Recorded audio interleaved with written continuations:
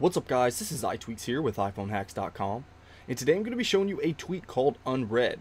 Now this is a really simple tweak. What it allows you to do is go into your Messages app and then if you tap and hold on any of the conversations here you can see that it's going to mark it as unread and then right up here at the top you're going to get that unread message of 1 and we can do that again right here. Now again you can do the exact same thing to mark it as read if you want to do that so you can tap and hold and it gets rid of that blue dot right there. So you know that you have actually read this or you basically just want to ignore it.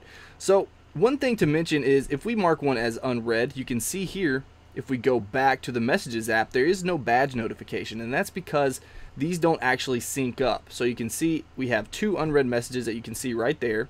And if we go back we're still not going to get that badge notification. So that's too bad. But maybe that's something that can be fixed in a future update for unread but other than that, it actually works really well. This is basically just as a reminder. Let's say if you already read a message and you want, need to go back and read it again, then you can go ahead and mark it and it'll remind you to read it again. So let me know what you guys think about this tweak in the comments below. And if you enjoyed this video, please hit that like button. And if you want to see more of my videos, then don't forget to subscribe to our YouTube channel. Alright guys, until next time, this is iTweaks with iPhoneHacks.com.